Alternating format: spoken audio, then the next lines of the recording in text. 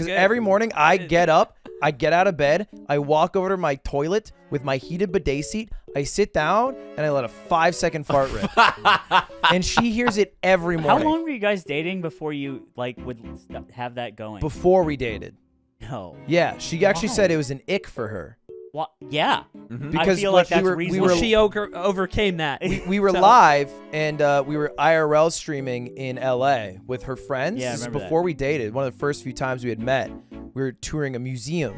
And while I was there, I hit her with, uh, this is the first time I did. I said, Do you guys hear that? And I was like, no. And I ripped ass. The chat loved it. She hated it. What did she do? What was her reaction? She was just like, that's gross. And then later she's like, it really was gross. Fart was a punchline. And I still do it to this day.